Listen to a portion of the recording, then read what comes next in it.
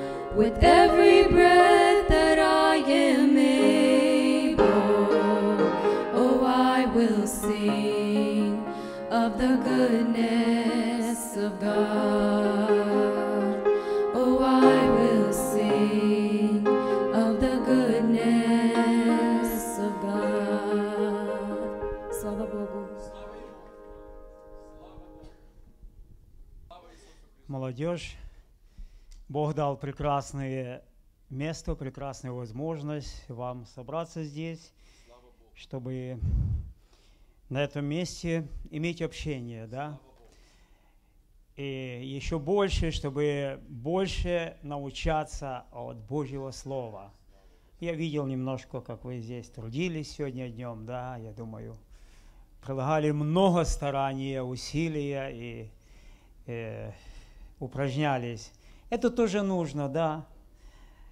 Так, но это не главное. Главное, чтобы нам собираться вокруг Божьего Слова и чтобы нам утверждаться в нем, чтобы нам научаться, чтобы нам познавать его, потому что это, от этого зависит наша жизнь вечная, наше спасение. И апостол Петр пишет, это вторая глава первого послания Петра, четвертого стишка, говорится, приступая к нему, камню живому, людьми, людьми отверженному, но Богом избранному и драгоценному, и сами, как живые камни, устрояйте из себя дом духовный, священство святое, чтобы приносить духовные жертвы, благоприятные Богу и Иисусом Христом. Ибо сказано в Писании, «Вот я полагаю Сионе камень, краеугольный, избранный, драгоценный, и верующий в Него не постыдится». Слава Богу! Братья и сестры, это есть основание нашей веры. Иисус Христос – я думаю, много есть строителей, да, и они знают, что основание есть очень важно в строении дома, хотя его и не видно иногда. Основание где-то внизу, но от него зависит состояние всего дома. И если основание дома, что-то с ним происходит, происходит катастрофа, как мы видели в Майами, да, большое здание, и почему-то развалилось. И все это зависит от основания. Основание имеет большую роль в жизни нашей. И вера наша, она зависит от того, на чем она строится. если она строится на Иисусе Христе, на Слове Божьем, она будет крепка, и ничто ее не поколеблет. Поэтому это очень важно, чтобы нам вникать в Слово Божие, проверять себя, проверять свои основания, на чем мы строим нашу веру, на чем она утверждается. Написано, что когда мы на правильном основании, приходят ветры, да, вот особенно на Мидвест здесь частенько проходят, и бури, и торнеды, и ветры, хирокины проходят. Прошлый год на Свойове прошел такой хирокин, что э, захватил третью часть Айовы. И это, говорят, такого еще здесь в Айове не было никогда. И фактически занял эту третью часть Айовы и шел очень долго. Люди сидели и думали, что он никогда не кончится. Очень много разрушений. До сих пор восстанавливают. Особенно ту часть, где живет много масонов, там очень много пострадали. И знаете, очень важно нам иметь основание, очень правильное основание. Знаете, я приехал в один дом, позвали меня, но люди посмотреть, потому что говорят, когда этот Херокин шел, то с чердака вытянуло insulation, и вокруг дома все белое было.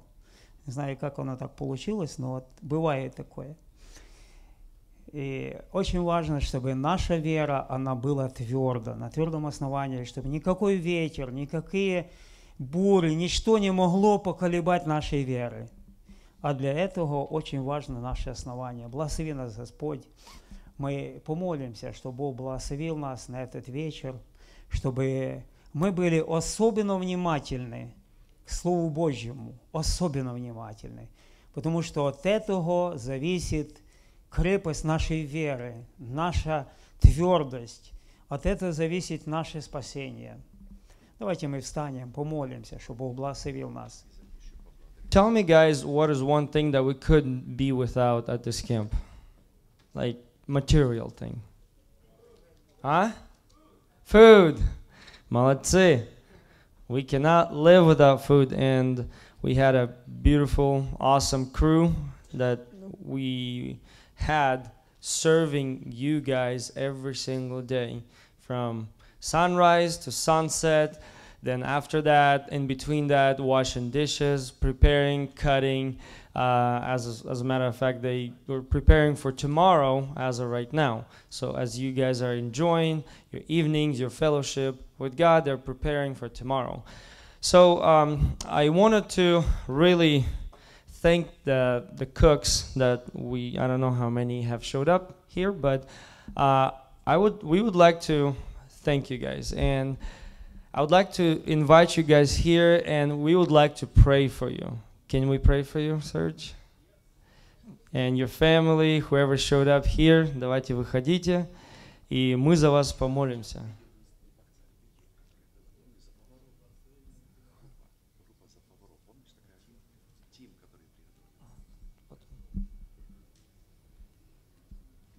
Как вы себя чувствуете? Вы устали? Да мы хорошо себя чувствуем. Мы готовы на следующей неделе приехать сюда. Я хотел бы рассказать большую историю. Можно, да? А, лет 10 назад, как только начался этот кемп, я думаю, вы в жизни задаете вопросы, задаете Богу вопросы, почему так, Господи, получается, или мы делаем что-то, и мы всегда хотим узнать от Господа, правильно мы делаем. И вот однажды мы приехали сюда, вот, именно в Лукас сюда. И едем домой уже. Выехали недалеко, время проехали. А, заехали на гастейшн. Еще до, домой ехать где-то 130 майлов. Я смотрю, у меня трейлер сзади на колесо. Смотрю, оно, может, водители там, ну, я думаю, здесь все большинство водителей. Но я увидал, что на колесе, на трейлере – у меня колесо так протерлось, там проволока уже вылезла, вылезла материя, которая там есть. И я так посмотрел на это, и вы знаете, что я сказал? Господи, дай мне на этом колесе приехать домой. У меня есть запаска, но я не хочу менять. И если это дело твое, Вы знаете, я приехал, 130 майлов еще, заезжаю на драйвей, и у меня как взрывается колесо, прямо на моей паркинг лад. Одно что, ну у меня сразу такой мысль, это дело мое. И что ты туда ездишь, и вы знаете, 130 майлов на таком колесе никогда ты не проедешь. Ну, минимум 5 майлов. Да, максимум. И минимум, и максимум. То вот такие друзья, то Бог всегда вот, и мы задаемся вопросами, как вы только стали наездить, то вы сегодня, вы знаете, это Бог для вас делает такие общения, они хорошие, приятные, где вы можете пообщаться. И это все для вас. Пусть Господь вас благословит. Слава Богу! Давайте за них помолимся. Praise God, brothers and sisters. Um, my family and I want to share a Ukrainian song. And um, this song is talking about a prodigal son where he's left his father's house. And, um, and the pripyev is talking about how there's a place in heaven where we can go to and, and we can go to the father's table and eat of his fresh bread on the table. So be blessed.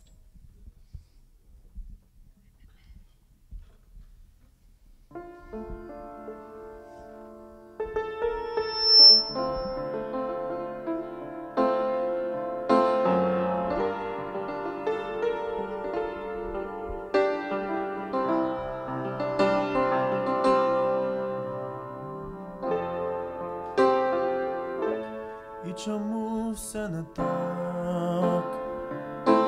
І чому я батрак? Був у батько я син, а тепер я один, до країни чужий.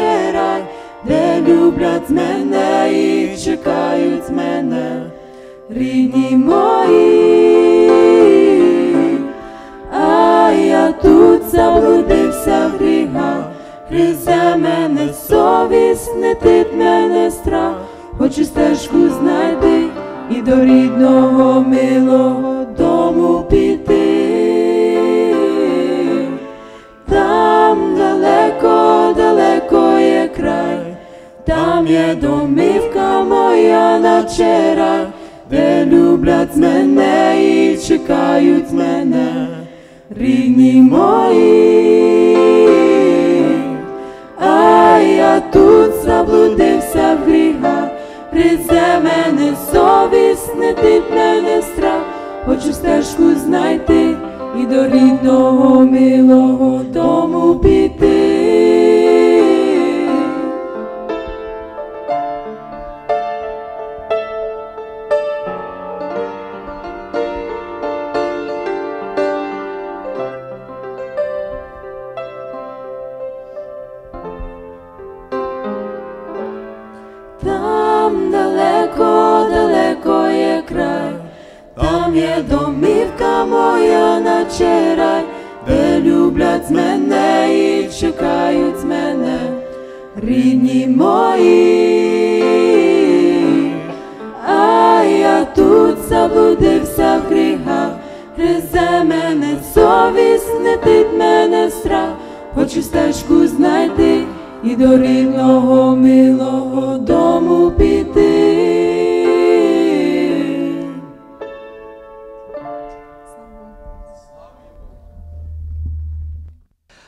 Сейчас мы переходим к следующему этапу нашего служения. Это будут вопросы и ответы.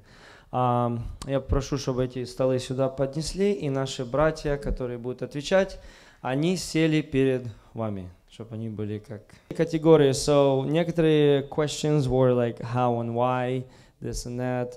Um, a lot of questions about salvation. Вова, can we like get rid of this humming? Оно, оно же гудит. Оно, а?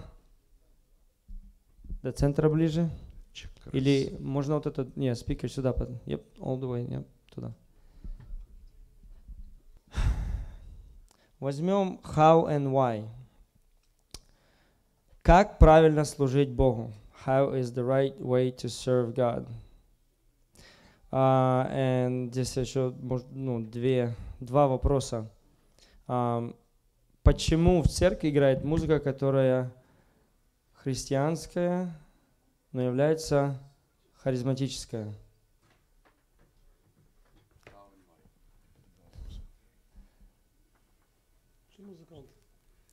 Как правильно служить Богу?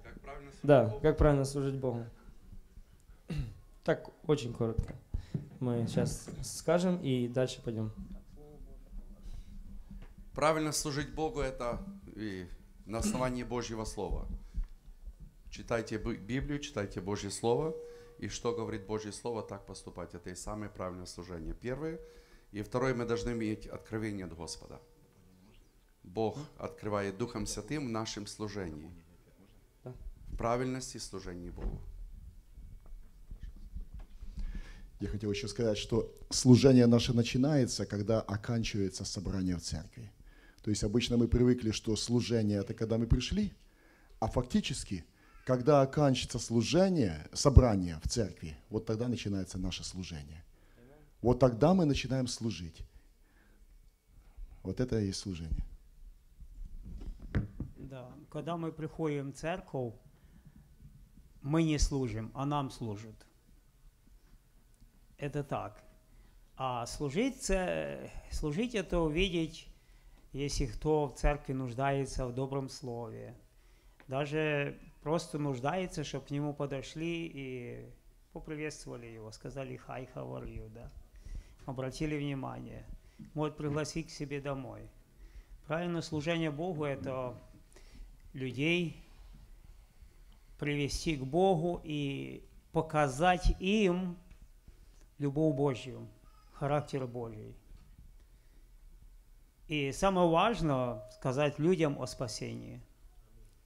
Это, это самая первая цель христианина. Сказать людям о спасении и направить их на путь спасения. Это самый первый такой шаг. Знаете, мы, у нас есть меньшая дочь, самая меньшая, и она, ну, мы учим наших детей, чтобы они свидетельствовали, служили Богу, и они еще с подружкой, одноклассницей этого во второй грейде не ходят, они в автобусе и стали проповедовать одной неверующей девочке. А родители неверующие ее рассказали дома, и вот заявили в полицию на них.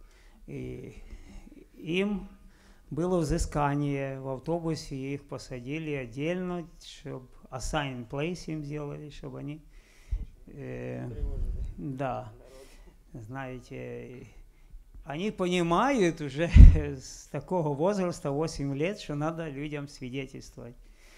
И та девочка, она стала говорить о Боге плохо, да, они возревновали так сильно, что стали ей проповедовать. Ну, очень хорошо, чтобы у нас тоже такая ревность была по Богу, служить Богу, чтобы мы не были равнодушны к людям, которые нуждаются в спасении, нуждаются в свидетельстве о Боге. Э, Служение Богу – это служение людям. И можно я вас попрошу, давайте наши братья будут сидеть, и я вместе с ними, чтобы мы не подывались. Вы разрешаете? А то вы так сидите, а мы... Да, спасибо.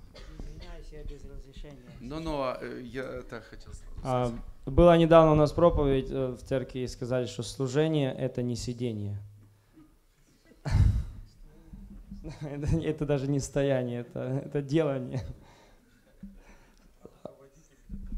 Да. А, Окей, следующий вопрос очень такой быстрый. Говорится в Римлянам 3 13.1, что должны um, subject to authorities. Мы должны подчиняться э, авторитетам, government там. И does, does this mean that this is a sin to do something illegal, like running away from cop?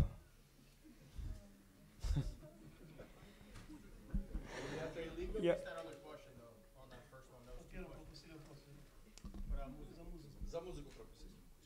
Um, а, музыка харизматическая.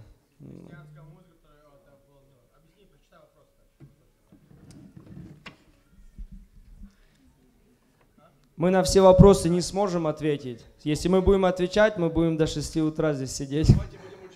Да, давайте будем очень коротко. То харизматическая музыка играет в, э, в церкви, которая христианская, но харизматическая. Но я не понимаю вопроса. В чем вопрос?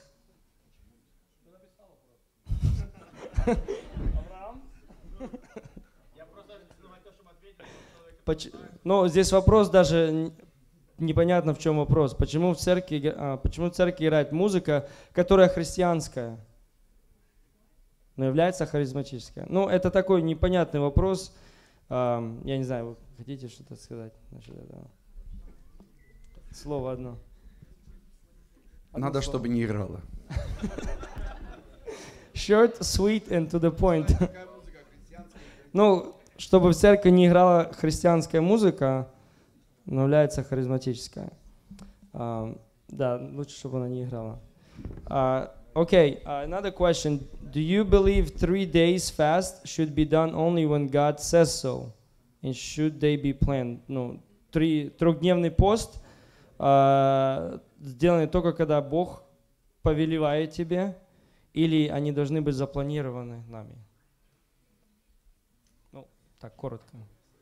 Ну, если трехдневный пост человек берет, это должен ты получить что-то от Бога, я так понимаю, или, или ты должен как-то, это, это твоя инициатива. Я считаю, это твое решение. Это решение человека, когда он берет трехдневный пост и делает его.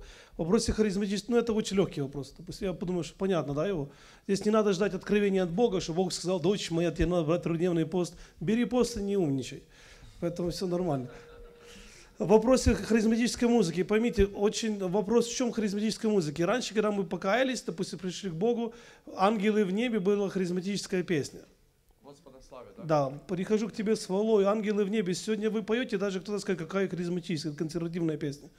Получается, наша планка меняется в зависимости от твоей планки, которую ты восстанавливаешь, и мы думаем, что она харизматическая. Но пойди к харизматам и посмотри там харизматические песни. Если ты считаешь, что мы пятидесятники поем харизматические песни, то пойди туда посмотри. Мне когда я был в Вашингтоне, мне сказали, в Эдоноле харизматическая церковь. Там такая. Я пришел, какая харизматическая? Там еще далеко до харизматов. Это в общем.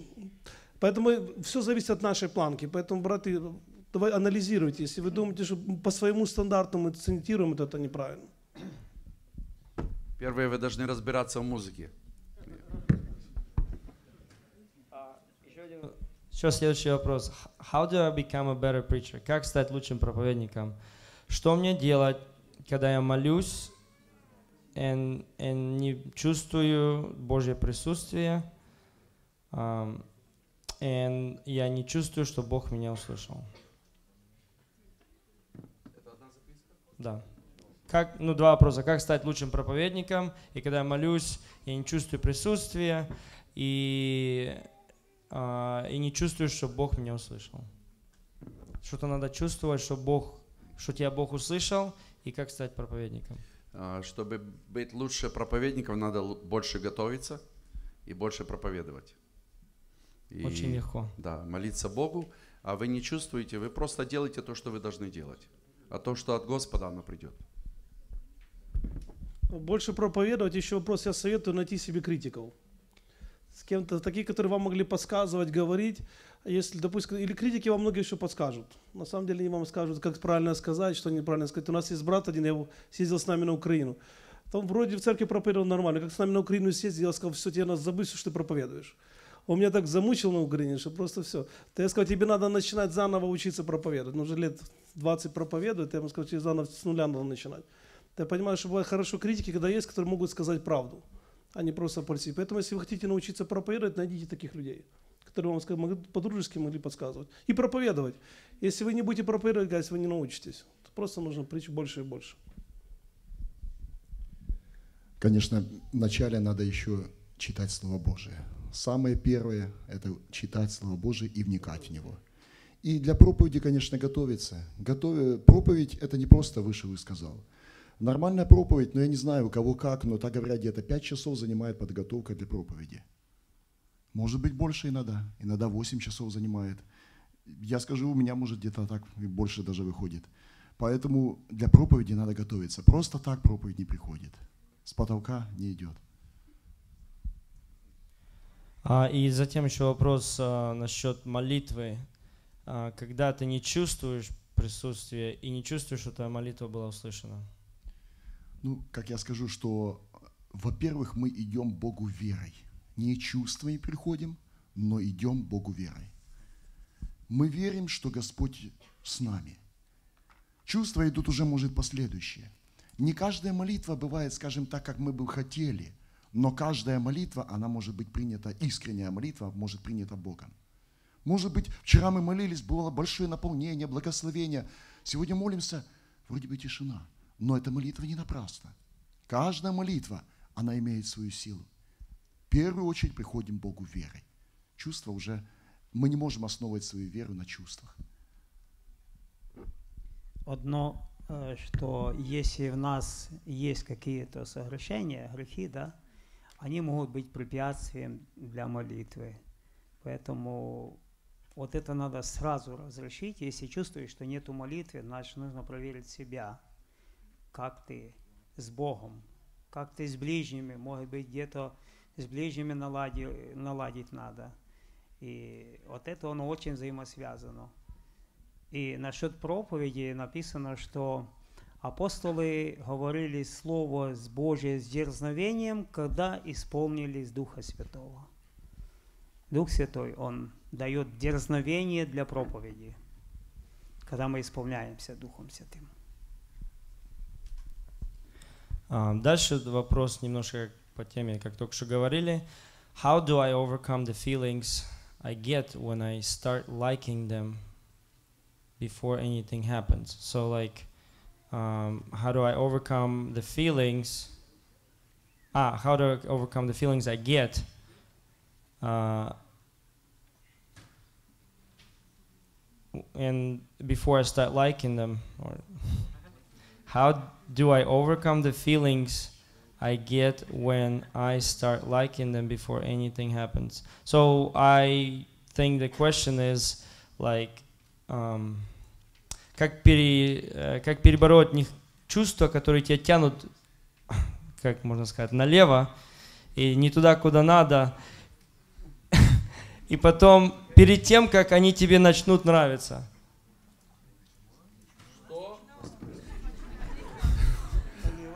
Когда ты идешь налево, тебе не нравится, а потом начнут нравиться. Это что-то не Ну, не знаю, вопрос. Если кто задал вопрос и хочет идти налево, после этого подойдете. Мы с вами.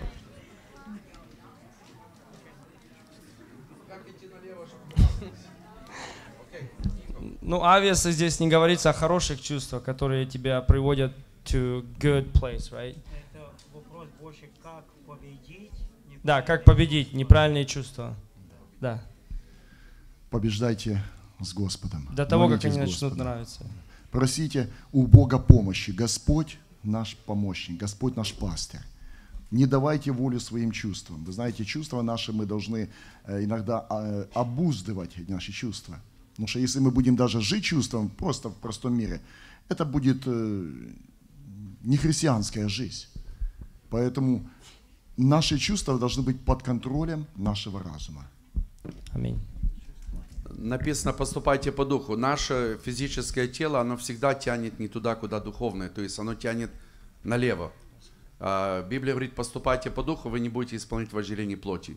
Это первое. Второе, э, вот дорога, да, вот сейчас вот эта дорожка, нет здесь ни налево, ни направо. Если вас тянет налево, значит те пути, которые тянут вас налево, постарайтесь их обрезать. Это может быть через интернет, это может быть через телефон, это может быть через общение. Очень коротко. Один человек недавно исповедовался, и он покаялся, он больше не делал, например, он не пил, да, или не курил. Но когда он э, по прошествии некого времени э, приехал обратно к старым своим друзьям, и он потом пришел ко мне и исповедовался, говорит, я не устоял. Не надо тебе ехать тем друзьям, которые тебя тянут на дно. Вопрос, э, что такое обуздывать? Like, по-английски? Yeah. По-английски как? What does that mean?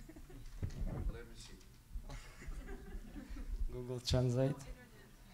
Um, обуздывать это Обуздывать – это усмирять, like управлять.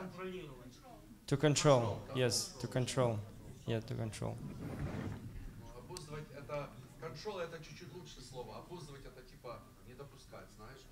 Человек хочет, а его за веревку тянет, как конь. Говорит, коня обуздывать, да? Для того, Коня. чтобы управлять им. Хочешь направо, направо, налево, налево. Управляй. Do Необузданный – это невоспитанный. С- э, конь, когда вы увидели упряжки, то вот это называется уздечка, которая вставляется ему здесь как коню в рот. Это уздечка. И одеть вот это снаряжение на, ло- на лошадь, это называется обуздание лошади. Точно так мы должны обуздывать себя, свою похоти. to be under control.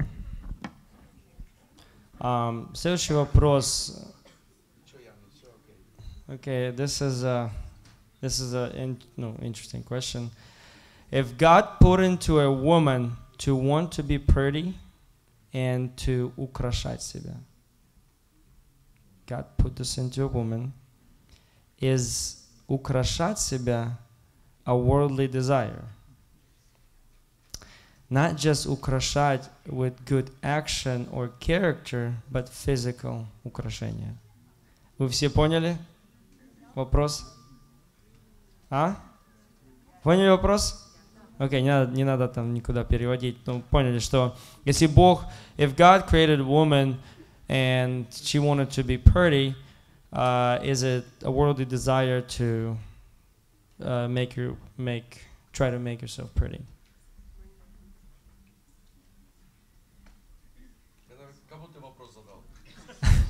Ну, вы вроде здесь красивая. Чтобы быть красивой, чтобы себя украшать. Э, Чтобы себя украшать, если это мирское влечение, desire. Если это мирское. Но если она красивая, надо ли украшать себя? Или как? Okay, okay. Is that a question or? Э, Бог заложил в нас, как девушек, а, ну, мы так красивые, мы это знаем. Но а, если Бог заложил в нас то, что мы хотим быть еще красивее, грех ли это а, одевать украшения или делать мейкап? Да. Вы сами сказали, Бог создал вас красивыми. Зачем вы хотите еще перепрыгнуть Бога и быть красивее? Для кого? Ну, Бог и так вас создал красивым. Вы даже, мне, I like that, вы даже признали это, что Бог создал вам красивым. Дорогие сестры, это правда. ну, Поэтому, хор- Ну, если, например, у одной девушки есть большие глаза, красивые ресницы, Да. а у другой не сильно. вы то знаете, есть грех Бог, подкрасить? Бог, Бог сотворил вот fingerprints, у каждого свой. Поэтому каждая вы есть индивидуальная. очень будет плохо братьям или мальчикам выбирать, если вы все будете одинаковые. А как насчет, а, например, кольцо на свадьбу? Это тоже Кольцо носить? вам подарит тот, которому вы Ну да, понравитесь. я не говорю, я говорю, да, который мы понравимся, но грех ли носить его? А, мы дай- мы дай- это- это- Что вы хотите, чтобы я вам ответил? Ну, а- а, не знаю. Окей, правильно. братья, короче, это, она серьезный вопрос задает, так что И как насчет, например, а, а, украшений, которые не, не такие, которые мирские, но просто обычные, есть верующие украшения, да? Ну, не Не такие мирские, как ты говоришь. Значит, э, вопрос, коль- э, зачем, зачем э, девушка одевает кольцо? Чтобы показать, что она занята? Занята, то есть она замужем. Ну да. Правильно? Но это так, и значит скажу так, э, в зависимости общества, где вы находитесь, есть общество, где братья не разрешают кольца одевать, поэтому вы должны этого придерживаться. Есть общество, где когда идет бракосочетание, и во время бракосочетания мы разрешаем им обменяться кольцами. Это кольцо, как ты говоришь, очень понятным языком, занятое, чтобы братья, еще кто-то не случилось, обратно пришел и предлагает. То есть надо спрашивать у пастора. Э, Я думаю, вы должны знать, вы если член церкви, вы должны знать, как у вас в церкви порядок. Спасибо. Да. Но э, кольцо это для того, чтобы видели, что вы замужем, и братья тоже женаты.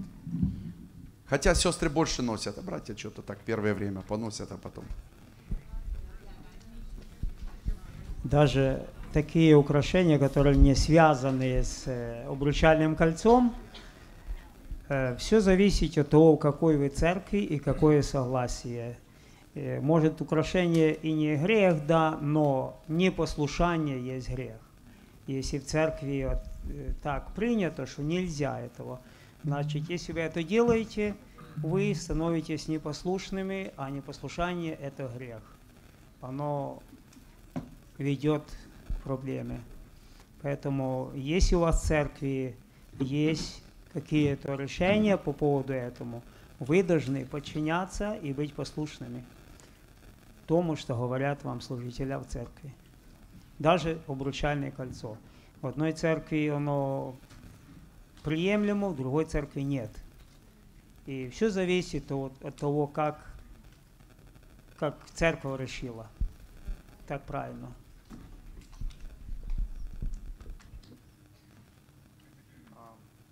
Хорошо, следующий вопрос, он будет, э, сегодня Алекс проповедовал на эту тему практически, и такой вопрос, э, когда ты следуешь за своим а, призванием, и что если снаружи люди говорят тебе, дают тебе tips, как предложение, как что делать, и когда они не qualified, чтобы они тебе дали tips?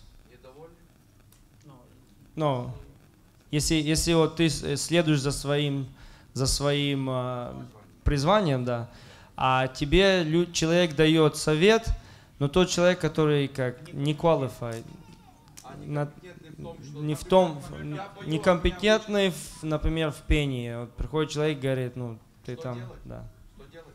Да. Но в вопросе пения там, наверное, легко. Если вы поете, и вам пришел человек, и вы понимаете, что у него нет слуха, вы просто скажите ему, спой, пожалуйста, мне до, ре, ми, фа, соль, ля и си. Если он споет, вы тогда услышите. Если он неправильно берет, то ему просто скажите, ну если ты не сможешь взять до, ре, ми, фа, соль, ля, си, как ты можешь взять ре, бемоль, да, или что-то еще. Хорошо, мы будем дальше идти. А, это, ну, как, это нормально, если человек некомпетентный. Это же ненормально, да, если человек некомпетентный, дает тебе советы. Но это стоит принимать в ведении, как, как к сведению или... А? Если толковый, допустим, даже он некомпетентный, но, допустим, адвайс хороший, то я считаю, можно принимать. Допустим, ну, все равно любой совет, все равно не нужно его унижать, критиковать человека. Выслушай, погладь гуйга и пошел дальше. Знаешь. А для себя, как один говорит, что ты отлаживаешь себе, принимать это не твое решение. Ну, допустим, ну, бывает, что даже человек некомпетентный, но где-то наслушался хороших советов и уже дает тебе. Бывает, можно принять с этой стороны тоже, знаешь. Очень плохо, когда мы вообще советов не принимаем и не считаем себя равным, что мы знаем лучше всех, то это очень плохо. Здесь дальше мы идем, а, такой блок вопросов, они связаны с, э, больше как со спасением. И э, я думаю, мы не будем на каждый из них отвечать, потому что они примерно одного и того же значения или так, примерно такой же, такие же вопросы задаются. Например, можно потерять спасение? Can you lose salvation? Ам, если, если спасение а, верой и вера и верой только и не делами, то может ли дела делами потерять спасение? Вот примерно можно ли потерять и если вера, если спасение приобретается верой, а не делами, можно ли делами потерять спасение?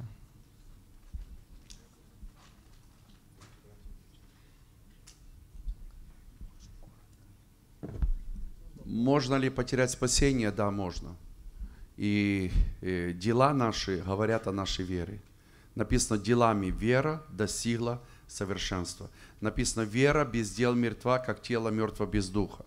Мы можем говорить, что я верую, а делами отрекаться.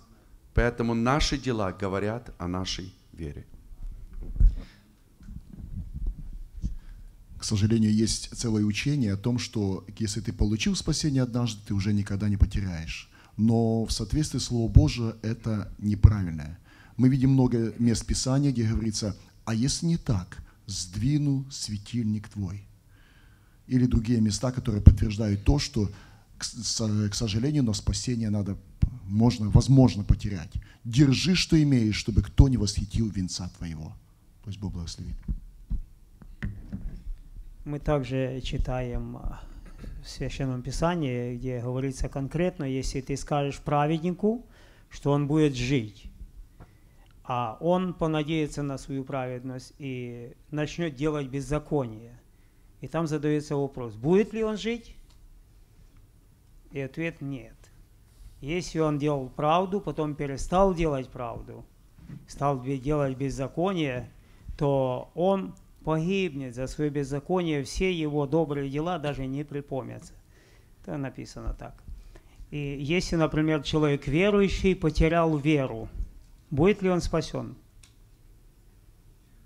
Ну, конечно, нет. Потому что спасение через веру. Так что это учение, о котором брат говорил, которое называется кальвинизм, оно не обосновано Священным Писанием. Человек, который перестал веровать, он не может быть спасенным. Yeah, the doctrine of once saved, always saved is, uh, is a false doctrine. Одно место еще говорит, потому, поэтому вы должны быть особенно внимательны к слышанному, чтобы не отпасть. Um, я це ніколи не понімала, но the Bible says, whosoever is born of God did not commit sin, um, but we all sin. So how do you understand that? Верующий в Бога не грешит. Да. Рожденный от Бога не грешит, да. А, то если мы все грешим, то как это, как это понимать?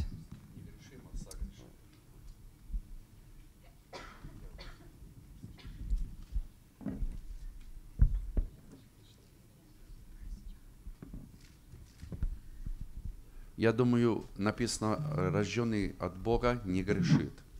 И есть другое место написано, все мы много согрешаем. Кто не согрешает в слове, тот человек совершенный, могущий обуздать все тело. Мы, бывает, согрешаем в слове. От многословия не миновать греха. Но грех и согрешаем, я думаю, что в этом есть разница. Поэтому плоть Адама, она с нами так и, в нас так и есть. Вот, поэтому всякие согрешения, грешит, это говорит, постоянно делает грех. Написано в первом послании Иоанна, 5 глава, 18 стих. Мы знаем, что всякий, рожденный от Бога, не грешит. И дальше продолжение стиха. Но рожденный от Бога хранит себя, и лукавый не прикасается к нему. Рожденный от Бога должен хранить себя, прилагать усилия. И тогда мы не грешим. Но Иоанн говорит, что все мы много согрешаем. Да? Грешить и согрешать – это две большие разницы. Грешить – это практиковать грех. Постоянно находиться в грехе. То есть жить греховной жизнью. Если я, например, э, занимался какими-то греховными делами, я покаялся и продолжаю заниматься этими грехами, значит, я не родился от Бога свыше, я не рожденный. Когда человек, э, он кается, он перестает жить греховной жизнью.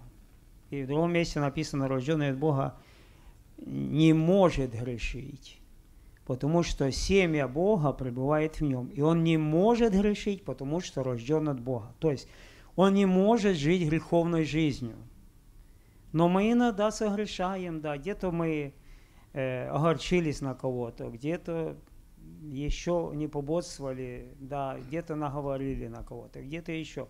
Но мы осознаем это и каемся. Когда мы исповедуемся, Бог прощает нас, наши согрешения. Но вы должны понять, что жить в грехе и согрешать – это две большие разницы. Вы заметили стих, там написано, рожденный от Бога не грешит, но рожденный от Бога хранит себя. Не Бог его хранит, а он хранит себя. Прилагает все старания, чтобы сохранить себя. Но где-то все равно бывает мы ну, не устояли. Где-то мысль какая и так далее. Поэтому. А, Дальше вопрос есть. Э, I believe in Jesus, but I still struggle with sin weekly, going back to it. Am I still saved? Вопрос понятный или перевести? А? А, я верую в Иисуса Христа, но постоянно а, борюсь с грехом а, каждую неделю и каждую неделю возвращаюсь. А, являюсь я спасенным? То есть вопрос греха и спасения. То есть а, пребывание греха в жизни и спасения. Если я скажу, что да, то это будет вам повод и дальше грешить. Поэтому надо, надо найти путь, по которому вы идете к этому греху.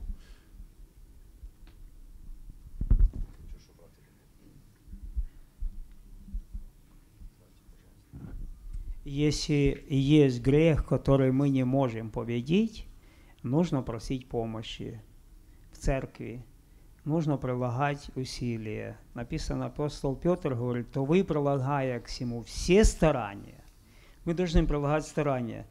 Пробовали ли вы взять пост именно за эту нужду? Пост очень сильно помогает. В духовном, э, в духовных сражениях пост – это большое оружие. Это очень сильное оружие. Когда мы сражаемся в духовных вещах с грехом, вот, с разными обстоятельствами. Пост, молитва, чтение Слова Божьего. Это есть оружие, которое мы должны употреблять. Иногда мы недооцениваем это оружие против греха. Написано, вы еще не до крови сражались, подвязаясь против греха. Против греха мы должны подвязаться, то есть воевать, мы должны вставать против греха. Это есть очень важно в жизни христианина. Для того, чтобы побеждать, нужно сражаться. Если у меня есть влечение да, к этому, э, к всяким сайтам, да, я не могу оставить. Знаете, я иногда начал новости смотреть. Раз посмотрел, и на другой день мне тоже хочется посмотреть. А что ж там происходит? А что ж там дальше будет? А, а как же там дальше дела складываются? Нам это не нужно, мы должны это оставить. Мы должны понять, что оно нас не созидает, оно нас разрушает. И поэтому нужно прилагать к этому старания. Я знаю, что молодежь очень часто попадает в эти сети через интернет, через компьютера, через вот эти все сайты. Ты туда только чуть-чуть зайди, и тебя со всех сторон уже предлагают, со всех сторон уже тебя атакует дьявол. Поэтому не ходите туда, где опасно. А дальше по, прям, ну как по теме они как идут эти вопросы. Можно ли а, можно ли иметь спасение? Ну, can you be saved if you're not born again? если не возрожденный? Можно ли спастись?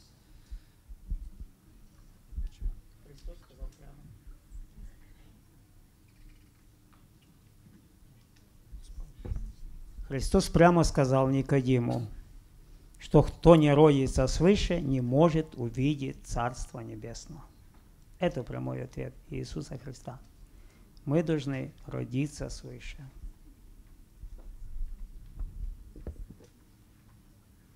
Но если так встречный вопрос задать, чтобы как-то expand, а когда это происходит? В какой момент это происходит? Когда мы рождаемся свыше? Вообще есть выражение свыше, здесь даже у нас в братьях есть расхождение в понимании. Некоторая часть понимает, что рождение свыше, допустим, от воды и духа крещен, это принимают водное крещение, включая себя покаяние, водное крещение и духовное. Допустим, я придерживаюсь больше мнения, что это вопрос покаяния. Именно когда говорил он с Никодимом, то Никодим, он говорил так, что Никодим понимал, о чем он говорил. Духовное крещение было намного позже. И он говорит, ты ли учитель, и ты этого не понимаешь, ты этого не знаешь. Я понимаю, это момент покаяния. Допустим, для кто-нибудь пришел с мира, неверующие были, для них намного это проще. Когда ты ушел от Бога, ты служишь миру, и потом встречаешь с Богом, у тебя происходит перемена, покаяние, ты оставляешь грех, идешь за ним. Для вас немножко, кто с детства верующих, это сложноватый вопрос. Как бы в большие грехи не попадали, ходите постоянно в церковь, и бывает, человек покаялся, принял водное крещение, даже не покаялся, принимает водное крещение или духовное, а бывает у некоторых покаяние намного позже приходит. У вас вообще интересные стандарты, знаете, когда бывает, что у человека жизнь поменялась намного позже. Но я понимаю, что рождение свыта – это же когда перемена твоего мышления. Когда на самом деле оставляешь грех, ты следуешь за Богом, и вся твоя жизнь меняется. То она может но правильно, это должно быть именно пока не изменение всего мышления.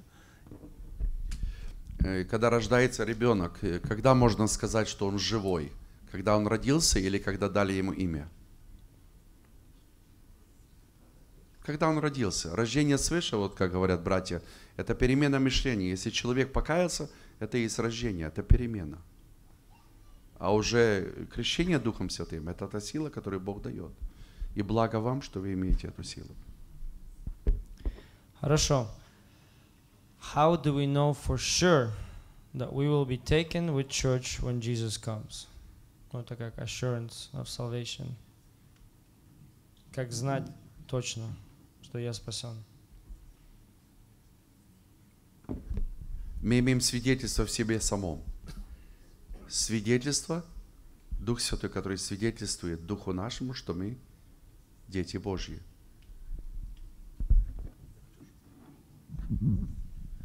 Когда человек получает покаяние, он получает освящение в первую очередь. Второе – это процесс жизни. Мы постоянно стараемся держать себя освященным и чистым. Где-то мы согрешили, где-то неправильно поступили. Вечером или, допустим, сразу же человек кается, Господи, прости, я, может быть, что-то не туда глянул, не туда сделал, не туда сказал, что-то вот так вот. да. И процесс, конечно, пришествия Господа Иисуса Христа или пришествие, момент, когда приходит, например, смерть человека, если человек верный был в этих по- положениях, Бог дает уже полное освящение, чтобы взять человека к себе. Вы должны быть уверены, я говорю за свидетельство, уверены в себе, в- иметь уверенность в себе. Поэтому вопрос к вам, если кто-то из вас не уверен, если, или кого-то есть смущение такое, а буду ли я спасен? Вот сейчас жизнь останавливается. Куда мы идем?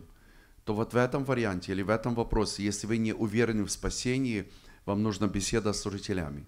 Есть разные моменты. Есть грех, в котором вам надо покаяться, а есть сомнения, которые дьявол наталкивает вас, чтобы разбить вашу веру. Хорошо, идем дальше. У нас еще один блок вопросов интересный. Но и перед тем я хочу задать такой короткий вопрос. э, И how does presence of God feel? Как, как чувствует, что значит э, ну, присутствие Божие и как мы должны достигать до, такого, до этого уровня ну, присутствия Божия, как, как оно чувствуется, что мы должны чувствовать вообще? Или мы, или это чувство, или это что? How does the presence of God feel?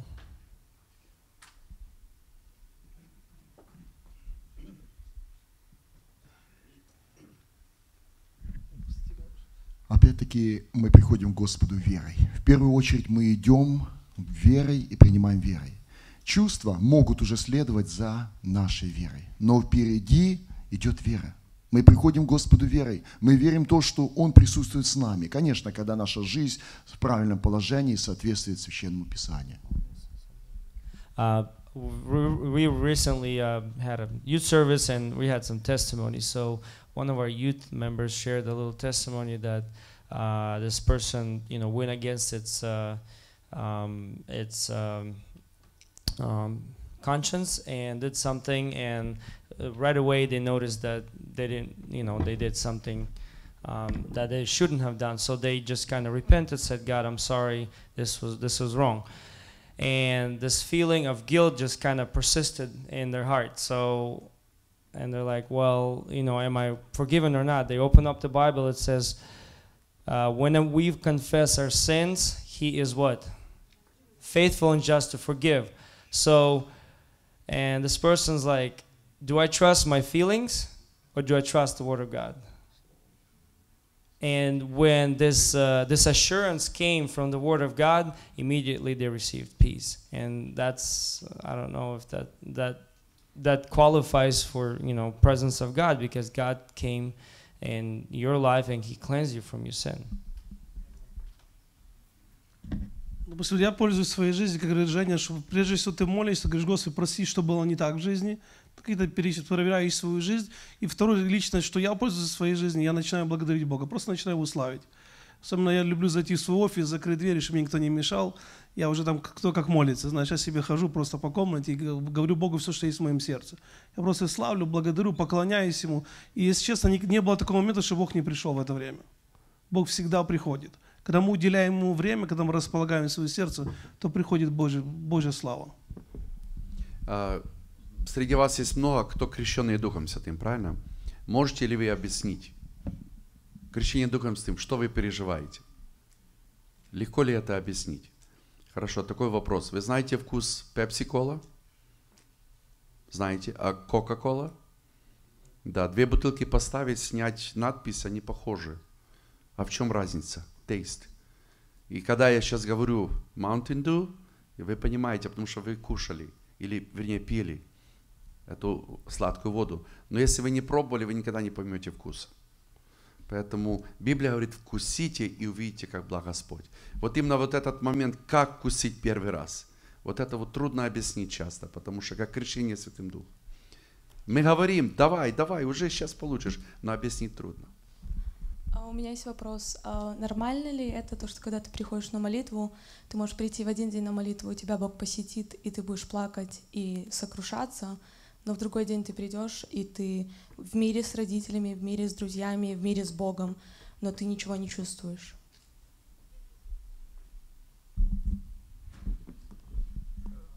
Да, есть такое. Да, есть такое. Но если сказать, что это нормально, для меня, например, это ненормально. Но, например, у меня тоже есть такое. Бывает, э, целый день в посте, вечером пришел, проповедуешь, думаешь, сегодня будет power of God. Нету. А на другой день немножко где-то и подгрешил, извините, но вы понимаете, пришел, а так Бог благословил, рыкуешь, руки поднял. От чего зависит? От Бога. И просто бывает, Бог с нами поступает из-за милости. Из-за милости.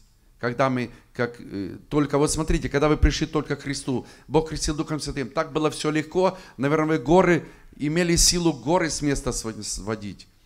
Огонь с неба.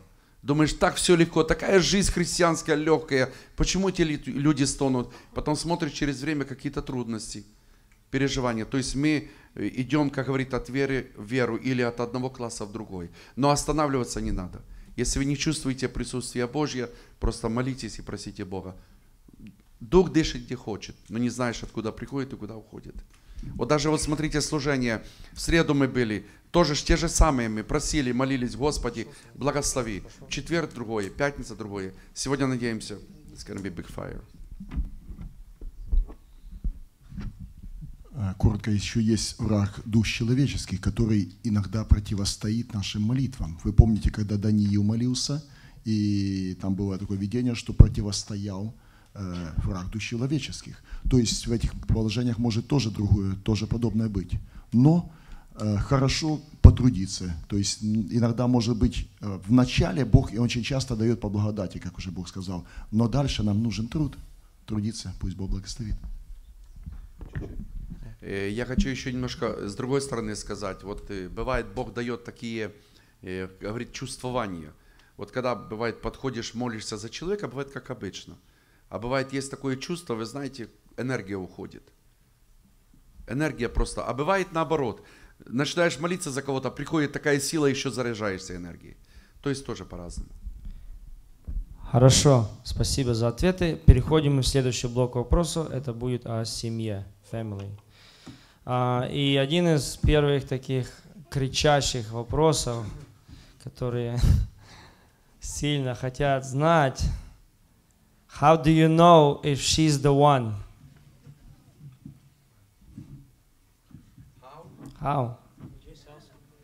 Just ask. Если ты не знаешь, как я могу знать? А, ну, мы перешли от духовного к плотскому. Э, э, Это, это, это от этого зависит духовно, да, но вопросы по плоти. А, what should I do if a girl... Ответили на этот вопрос еще, или ты уже Okay. ответил? Well, это, это зна- в том же самом этом. Ну, how do you know? Okay, how do you know if she's the one? And what should I do if a girl and I like each other, but her parents don't want to meet me? Родители, я родителям, он родителям не нравится. А, а мы друг другу нравится. And question is if she the one. Покупай цветы, иди до мамы.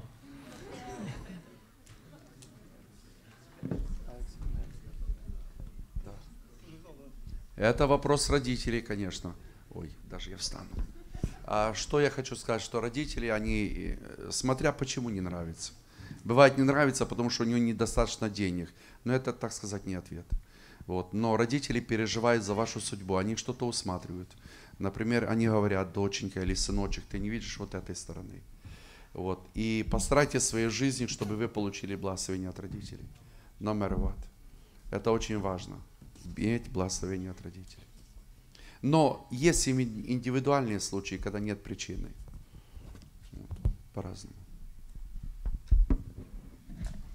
Вот, допустим, для братов, как определить, что свое? Я понимаю, во-первых, должны быть чувства. Библия говорит, должно быть, брак должен быть по любви. Если нет любви, она тебе не нравится, то не нужно туда лезть вообще. Так думаешь, хорошая сестричка, что-то получится, все равно должно быть чувство. Второй вопрос, если, допустим, вроде бы и нравится, ну, таких на физиологических вопросах, да, там, бади понравилось или еще что-то. На вопрос э, в другом, есть моменты, какие-то вещи могут тебе что-то есть, все равно раздражать тебя в ней.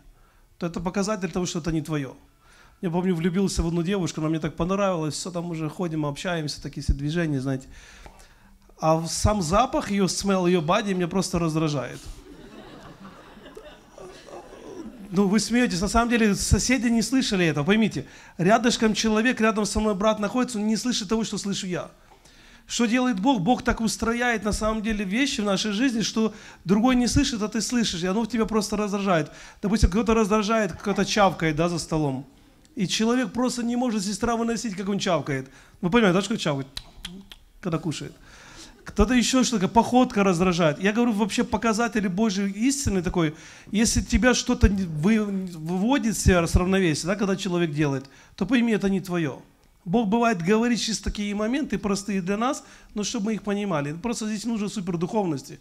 Здесь просто элементарные вещи, что нужно... Говорит, одна сестра говорит, ну вроде бы хороший брат, на собрании ходит, все нормально. Говорит, ну я, говорит, не представляю, говорит, меня аж выворачивает из себя, когда представляю, что с ним буду в одной кровати. И я говорю, это не твое. Это просто не, твое, не должна быть вместе. Понимаете, да, о чем я говорю? Да я понимаю, здесь вопрос, элементарные моменты. Бог говорит через тонкие вещи. И нам просто нужно их понимать. Вопрос родителей, допустим, я понимаю, что у нас очень много кейсов есть таких. Я понимаю, что этот вопрос очень сложный. Я не знаю, сегодня родители все стали сильно умные. В нашей церкви столько таких семей, которые не разрешают, против. Уже чуть ли служителя все разбираемся, решаем. И знаете, есть вопрос войны, когда можно идти через служителей, можно разбираться такими полгода, год, и потом отношения с родителями со служителями плохо настроены. и в семье очень плохие отношения. А есть вопрос просто искать Бога. Я знаю, у нас семьи есть, которые просто жена, допустим, жених, невеста договорились, давай будем просто нуждаться в Боге, чтобы Бог помог. И они молятся, ведут себя дальше, общаются, ну, допустим, молятся родители, чтобы Бог помог, устроился. И проходили время, там, месяц-два, когда отец приходит, что там, все у вас в силе осталось, так, я вас благословляю. Ну, Люди избирают правильный путь. И, конечно, очень важно, допустим, для, особенно для сестер, если вам папа говорит что-то, то выслушайте все равно.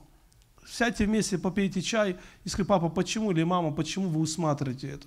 И если поинты есть очень серьезные, тогда уже ставьте знак вопроса. Допустим, нам, когда приходится разбирать такие ситуации, то, допустим, я сам задаю вопрос родителям, говорю, почему, объясните, почему.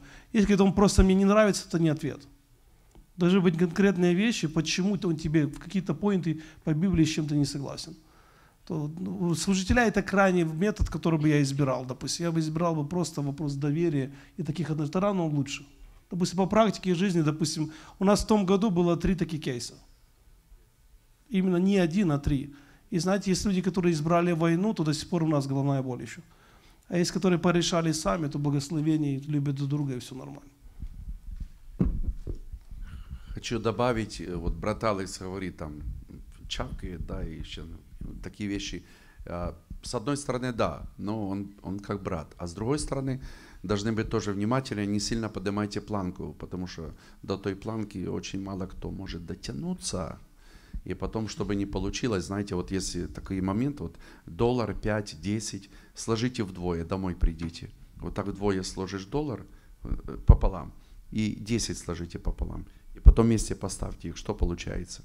Вы поняли? Значит, если доллар, то надо искать доллар.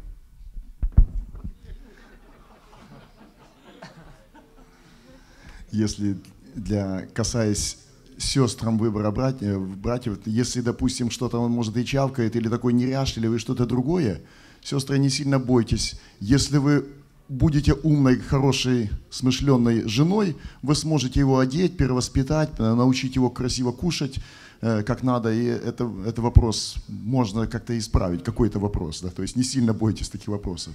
Вообще, в вопросе влюбленности, вы знаете, а, когда, братья, когда вы едете на, на машине, и навстречу вас другая машина ослепила, что надо делать, а? Ослепила светом. По правилам, не меняя полосы, надо остановиться. Я всегда так говорю, если вы влюбились, если вы влюбились, вот, в первую очередь сделайте остановку. Ослепила вас. Потому что любого она, она слепит, и тогда человек не видит много других. Он видит только один поинт, и все. Да.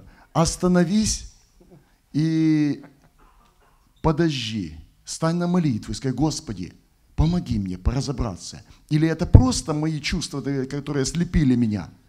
Или это то, что от Тебя? Или это та девица, которая достойна быть моей женой? Или это тот парень, который возьмет меня замуж, это он действительно есть? То есть, в первую очередь, сделайте остановку и станьте на колени молитесь Господу. И Господь даст для вас полную, полную ясность этой картины. А вообще, конечно, я думаю, вы давно уже, может быть, молитесь о том, чтобы Бог благословил вашу судьбу, устроил, и чтобы она была устроена по воле Божьей. В свое время я тоже молился, может быть, даже лет, не знаю, может быть, с 14 или с какие я уже молился. Как-то мне приходило так иногда, чтобы Бог благословил, устроил, дал благословенную жену. И Бог услышал мою молитву. Насчет ослепила, я вспомнил такую песню. Остановись, прохожий, и подумай.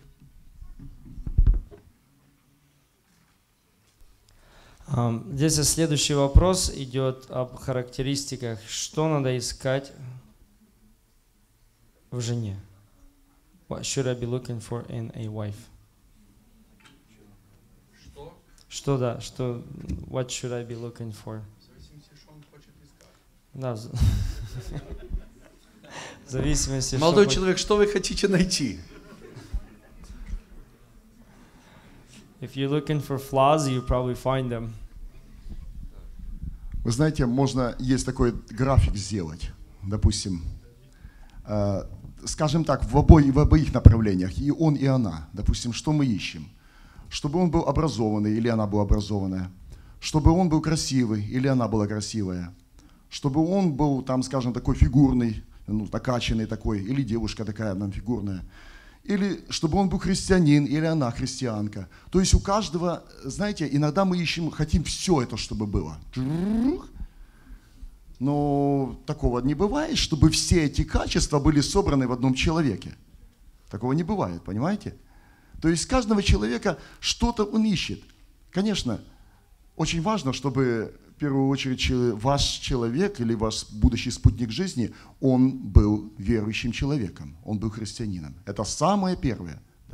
Другие положения тоже, конечно, очень важны. Даже простые моменты, чтобы ваша будущая жена ну, могла уметь готовить что-то кушать.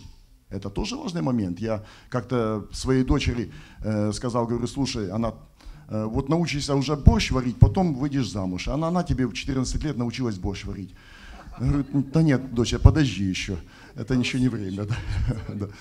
Поэтому э, бывают такие положения, когда девушки не любят кухню. Вы знаете, полюбите. Для вас это благословение. Вы знаете, путь мужчине, говорят, через, через его желудок. Видите, какие все братья довольные, потому что тут хорошо кормят. Поэтому если вы любой вопрос, даже простой в будущей жизни, когда вы какой-то комплейн, что-то еще, купить вам надо что-то такое, знаете, дорогое, сложное. Никогда, когда ваш муж пришел с работы, не бегите к нему, не говорите, вот мне надо срочно то. Наоборот, покормили его. Он такой довольный, тогда, тогда говорите, слушай, а как насчет вот этой шубки, насчет вот этой шубки или что-то еще? И, то есть свои нюансы есть в этом положении, в семейной жизни. Так что пусть Бог благословит. Там уже не шубка, там уже iPad и разные там. И еще не через только желудок. Когда брат увидит, что вы его будете уважать, он обязательно за вами пойдет. Да, то это я хотел добавить, что когда мы влюбляемся, мы не только влюбляемся в, в то, что мы видим снаружи, это тоже важно, but мы влюбляемся в характер, мы влюбляемся в человека самого. Какой человек? Потому что а, мы все живем в такой, как а, Библия называет ее хижина, да, которая имеет свойство рваться и которая имеет свойство стареть. И если мы себе поставим цель влюбляться только в это, что снаружи, а, мы очень быстро потеряем эту любовь. Но когда мы влюбляемся и находим человека, который, который ну, хороший человек, у него хороший характер, который подходит, то это самое важное. Мы влюбляемся в характер, мы влюбляемся в самого человека. Видишь, мы сейчас говорим такие, знаете, такие вещи высокие. На самом деле, когда молодые, люди влюбляются сами, уже по баде или где-то увидели, человек влюбился. Но когда мы стаем старше, наша планка завышается. Мы начинаем, в основном люди, которые уже по 30, им тяжело выйти замуж или жениться. Почему? У них уже планка, у них уже, мы смотрим характер, мы смотрим родителей, мы смотрим, как она готовит борщ, да, допустим, какие-то поинты. Мы, у нас планка настолько высокая, что бывает тяжело выйти замуж, то, что говорил брат Виктор перед этим. Поэтому, допустим, что я советую, особенно кто помоложе, то у вас планка не так завышена, то можно спуститься чуть на землю, чуть попроще. То я понимаю, один из основных поинтов, это просто, чтобы человек любил Бога. Это number one, который должно быть. И потом второе, допустим, все равно я посмотрел бы на характер. Вот как сказал Женя, я тоже подчеркну. Допустим, если она не уважает всех вокруг, если она не уважает родителей, если она повышает свой голос, сегодня один брат ко мне подходит, мы катим машину, одна сестра команду, там, ты делай то, ты делай другое, ты делай третье, знаете, он говорит, окей, представь, ну, я выйду за нее замуж, что будет, ты женишься на ней, ну, то точно, что выйду замуж, знаешь. что она будет команда. Есть такие моменты, да, я говорю, на самом деле получится, что выйдет замуж. Есть на самом деле вопросы, когда все равно брат должен наблюдать, как она себя ведет, как она на самом деле научиться готовить, кушать, это it's not big problem сегодня. Наташу включили на ютубе, знаешь, или там Катю, кто там есть, уже человек научится, чему нужно. Но вопрос характера уже не изменится. Вы понимаете меня, да? Потому что, сестры, в ваших вопросах я тоже считаю, что все равно нужно быть френдли, все равно какие-то вопросы характера нужно обуздывать себе, бороться с этим. А с братьями нужно наблюдать. И, допустим, еще основной вопрос, я хотел, чтобы молодежь, чтобы вы просто поняли, такая простая истина, что вы ее запомнили очень серьезно. Когда вы решаете вопрос супружества, вы решаете не только свою судьбу, вы решаете судьбу ваших детей. Услышьте меня сейчас. Допустим, все, что вы сделаете мистейк в своей жизни, вы, по сути, сделали мистейк для ваших детей, для следующего поколения, которым вы будете. Если он не любит Бога, да, просто хлопец в брюках, да, и вам нужно выйти замуж, то потом проблема будет с вашими детьми, они будут мучиться в вашей семье. Или еще уйдут от Бога, и потом куча страданий и слез, потому что сделано решение было неправильно. То же самое братьям вопрос неправильной женитьбы, тоже вопрос оказывается на других вопросах, на, на детях. Потому что дети копируют нас и берут все от нас. Вопрос характера, вопрос той же самой учебы. Если, допустим, он не способный выше учиться или лези работать не хочет, он дает отпечаток на какие-то моменты детей. Поэтому все эти вопросы очень важно, чтобы вы задумывались. И когда делаете решение, не только чтобы вам было классно в первую брачную ночь, но чтобы вы задумались о вопросах жизни на фьючер, что будет в вашей жизни. Было сказано за характер. Работайте над своим характером. Чем моложе, тем лучше для вас. Это первое. И мы обращаем внимание на сестер. Братья тоже. Братья, работайте над собой. И, как я говорил чуть раньше. Теперь. а, Не ждите, что вы возьмете замуж ангела или вы за ан- женитесь. Да? Я вам хочу сказать по Писанию. Ангелы, они не женятся и не выходят замуж. Но выходят замуж обычные люди, такие как вы. Поэтому пусть Бог вас благословит. На первом месте я тоже считаю богобоязненность. Потому что с внутренним человеком намного легче жить. Um, somebody said it's easier to find a unicorn than to find the one. Basically, the one actually doesn't exist. It's uh, it's uh, basically it's a work in process. When two people get married, they work together and uh, they work things out. So uh, there's a question here. What is the right way to pray for your future husband or wife? Um, I could probably answer this kind of short answer. You should pray like this God, make me a blessing for my future wife or husband. So make me a blessing for her or for him. Да. Yep. И еще, братья, особенно братьям, нужно все делать в свое время. Чтобы и не сильно рано, и чтобы не, дож... не заждаться вже за, как сказать, уже до того, что уже вы не можете выбрать. Уже нужно все сделать в свое время. А здесь еще такой встречный вопрос. Вот, э, это, это в сторону, в сторону наших а, братьев. Why are the good and kind guys always the shy guys?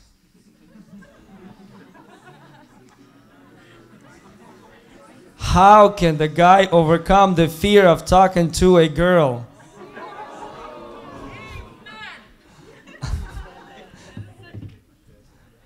Это, это, братья, это к вам.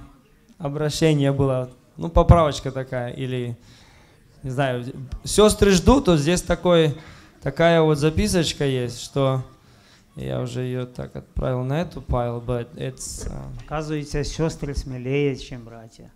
Так что, Вот. братья, это вам пожелание, не бойтесь. Uh, how does one know whether one needs to get married as opposed to practicing self control? I want to get married. Smile.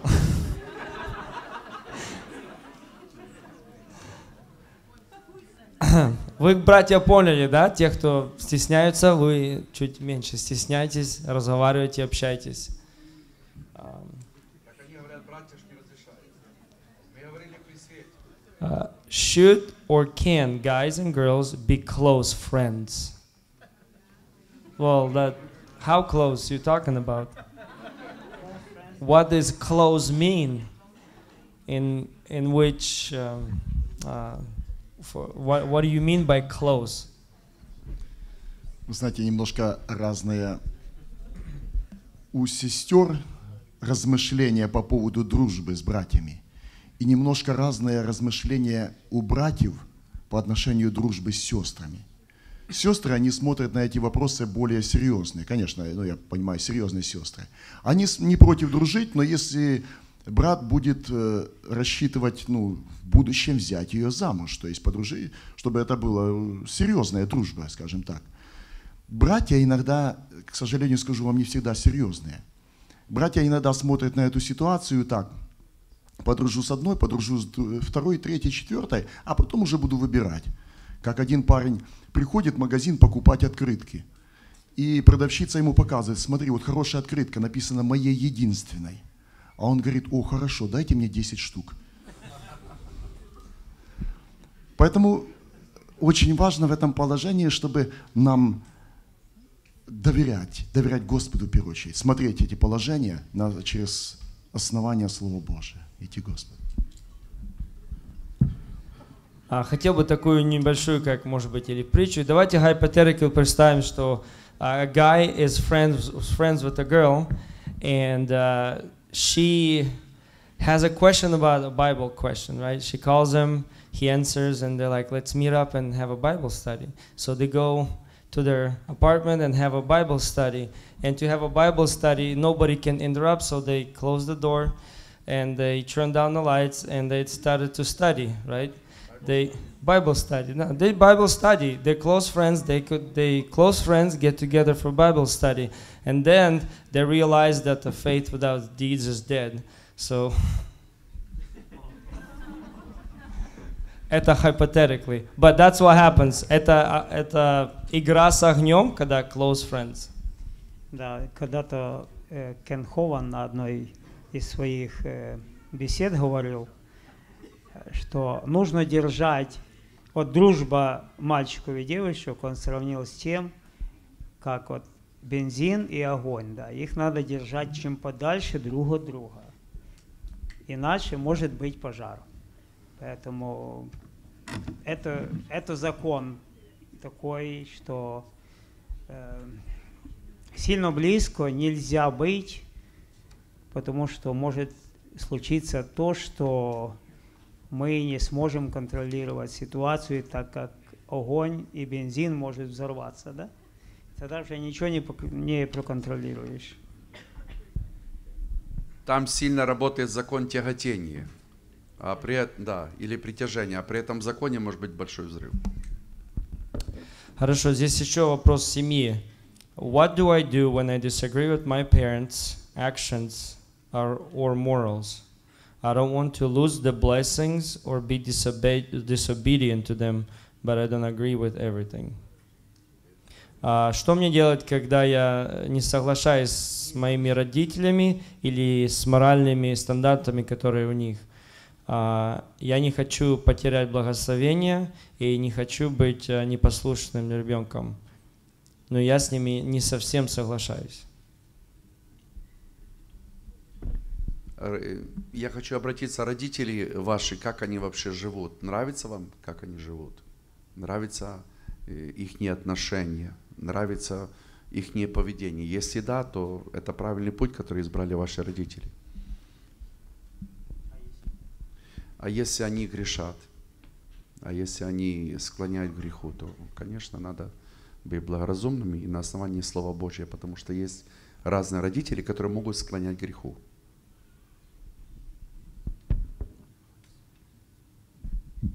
Я думаю, что частично уже немножко этот вопрос был раньше заданный, да. Э, В основном, конечно, родители, ну, скажем, всегда желают самого лучшего для вас. То есть, поверьте, э, я знаю, что мои родители всегда мне, мне желали самого лучшего, и я своим детям всегда желал самого лучшего, хотел, чтобы это был самый лучший выбор. Но э, когда мои дети женились, я понимал, что это выбор ихний. То есть они выбирают, мои дети выбирают. Уже дело, мое, мое дело – это дело благословения. Но, как уже было сказано, возможно, надо где-то прислушаться, спросить, что и почему. Если где-то стоит вопрос «нет», спросить конкретно, что и почему. Ну, и брат Алис уже немножко яснее это рассказывал, уже был этот от- ответ. Есть разные, допустим, проблемы. Есть проблемы, допустим, когда они греховные, то мы об них даже не говорим. Я думаю, записка не об этом. Если это вопрос греха, то ясно, что мы не должны подчиняться, тебя посылают за наркотиками, за пьянкой. Я думаю, в наших семьях этого нету. Когда нас задавали на Украине такие вопросы в России, то там больше таких кейсов есть, вопросы греха. Здесь, я думаю, больше вопрос, наверное, каких-то правил, украшений, когда приехать, я думаю, что больше в этом направлении, чем молодежь сегодня в вопросе страдает.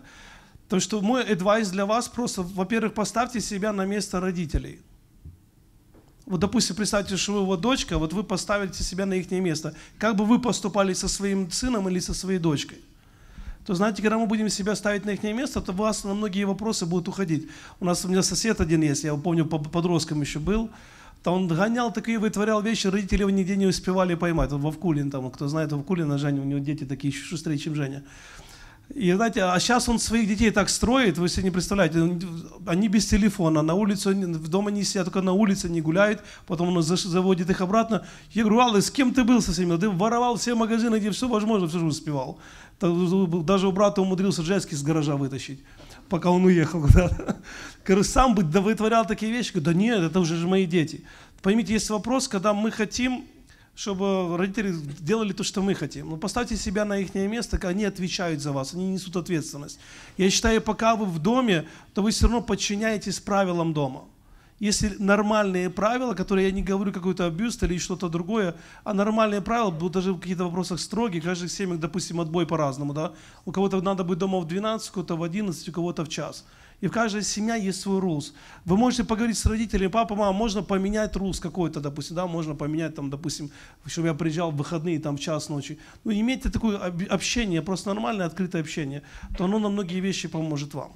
Не знаю, ответили, на, ответили мы на ваш вопрос или нет, но, допустим, я, я призываю всегда к открытости, к открытости с родителями и ставить себя на их место. Еще вопрос вот, а, на, uh, an engagement duration, time, appropriate duration of time for an engagement. Is that a question? Um, how long do I uh, date a person before engagement, or how long am I engaged for? Um, what is an appropriate duration of time for an engagement? Yeah. Is this, uh, you guys think it's, what's that? Yeah, it sounds like how long can you be engaged or how long can you date before you get engaged? It's kind of like. No, no, no. Like it's a single question, but what is the appropriate duration of time for an engagement?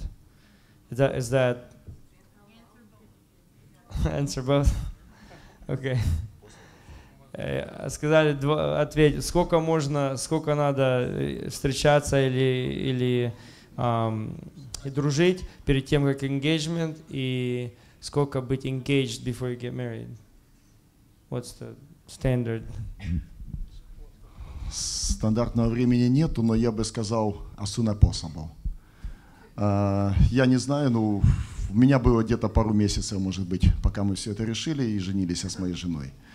А, Вы знаете, я вам скажу, что по-разному может быть то положение, когда человек, э, допустим, просто, ну, так встречается, дружба, и разные положения могут быть между влюбленными уже людьми, которые близкие, и которые ожидают уже, скажем, будущего брака. Знаете, э, дьявол, он очень есть искусный, и он есть очень обманщик. И иногда человек думает, да, я буду э, себя хранить, я буду все ставить на свои места, я буду только так делать, как по- положено, но мы не знаем, что еще хочет сделать дьявол. А его задача простая. И вы знаете, к сожалению, но случаются такие случаи, что люди иногда не дожидаются сочетания, не дожидаются того момента, когда сочетание, и это приходит, скажем, а это не спланировано. Это случается, можно сказать, чисто случайно. Где-то вот так получилось, где-то отошли, где-то так, где-то такая обстановка, никого дома не было, другая обстановка положение. К сожалению, такие моменты есть. Ред- ну, редко, но случается. Поэтому лучше не, не играть. Лучше есть, нашел, делай. Плати деньги и покупай.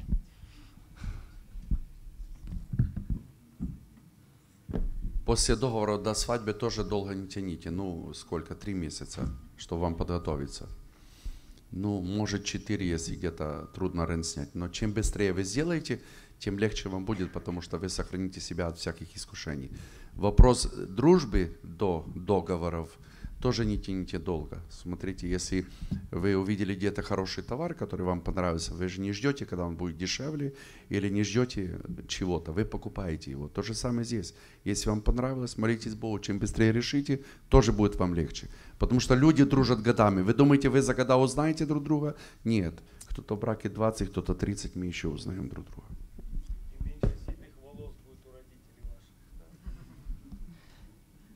Good girls do not stay long on the market. Их надо забирать.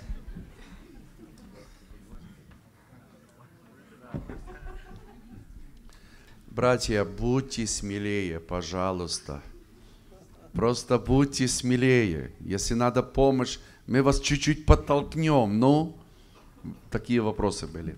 Пусть Бог благословит сестры. Вы все красивые, прекрасные. Хорошо, хорошо. Каждый для своего. Последний вопрос. Как должна смотреться христианская семья и что значит быть христиан, христианским husband and wife? Ну, это такой постарше, я не знаю. как. Это семинар. Вы готовы еще два часа здесь посидеть? Или, или кратко можно пару слов? Пару слов можно сказать так. Вот христианин от какого слова идет? Христос. Христианская семья это там, где Христос пребывает. Конечно, это, как братья говорят, семинары, но если будет Господь с вами, Иисус, естественно, эта семья будет строиться на фундаменте, который сегодня говорили. Поэтому пусть Бог благословит.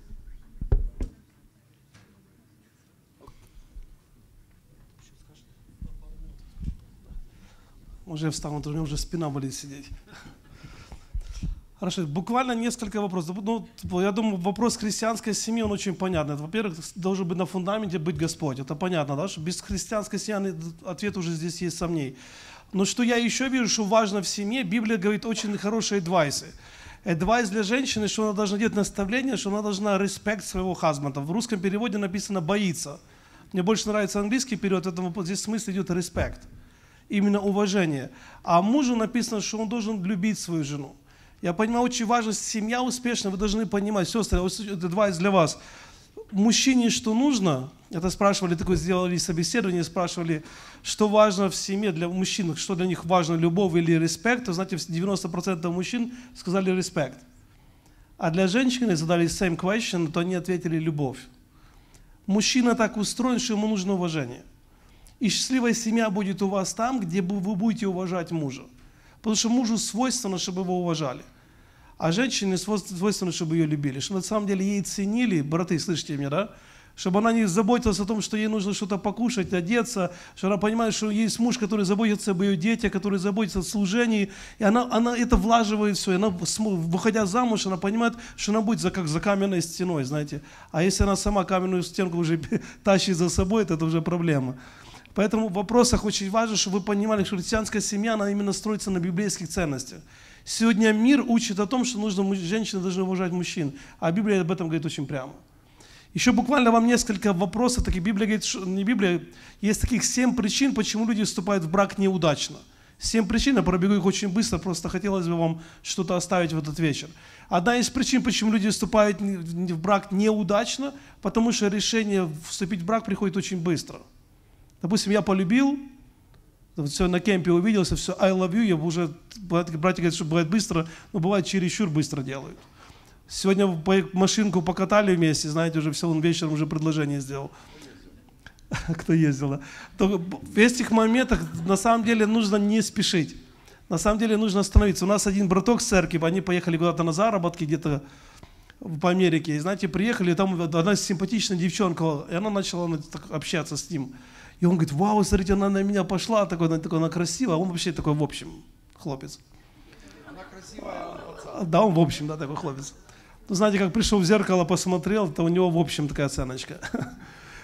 А наши хлопцы другие смотрят, говорят, куда? Она на тебя клюнула, что-то здесь ненормально. Наверное, что-то здесь не так все чисто. Как она не на нас пошла, а на тебя. Да. Что, ты- что ты понимаешь по слову клюнула?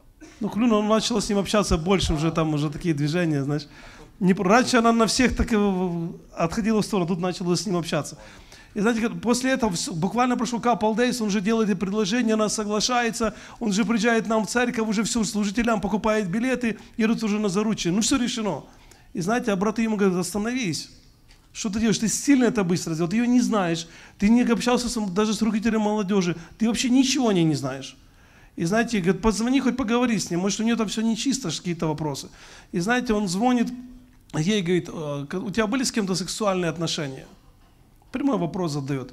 И знаете, у нее хотела мудрости сказать, ну или честности сказать правду. Она говорит, да, были, говорит, и на той неделе, говорит, я с- были отношения с боссом и так далее. Это для него была милость Божья, что она сказала честно. Почему? Очень важный вопрос, когда будет решение будет очень быстро. Это наша молодежь, это не то, что я говорю где-то. Уже билеты сдали, все вопрос решили, он позвонил, уже сказал, что мы не поедем, такого ничего не будет. Но поймите, когда мы не знаем человека и решаем очень быстро, это проблематично. Поэтому нельзя перетягивать, Понимаете, да? Но не нужно сильно быстро делать. Второй мистейк, который делают, что делают, принимают решение жениться или выйти замуж очень рано. Когда еще люди совсем еще не понимают семейную жизнь, да, там в 16-17 лет уже там, у нас один брат начал в 7 лет, говорит, я хочу жениться. В 7 лет. Ты, ты, ты во сколько, в 14 начал молиться, да, в 16. А тот уже в 7 говорит, да, у нас руководитель молодежи был в Одессе. Бывает слишком рано, это тоже проблема по, по статистике вообще люди, которые вступали в брак до 20 лет, у них больше разводов, чем которые вступают в брак позже. Это статистика, которая существует. Следующая ошибка, которую делают, когда люди хотят жениться или выйти замуж, просто убежать из дома. Ну, родители надоели, сегодня вопрос был, да, такой. Я уже устала подчиняться правилам, мне нужно убежать. Поймите, вы не убегаете от проблем, вы бежите в большую проблему. То, что вам не нравится дома, то, знаете, когда вы выйдете замуж, сестры, то, знаете, один сравнил американец, что муж это то же самое, что большое хьюч такое дерево, три посреди кичен, знаете, такое, вам нужно через него пролазить, там, через то дерево куда-то делать. Это, когда мы выйдем замуж, женимся, в брак, он несет за собой ответственность. Когда ты встал утром, погнал на рыбалку, куда уже побежать не можешь. Тебе нужно спросить, а можно ли я пойду куда-то?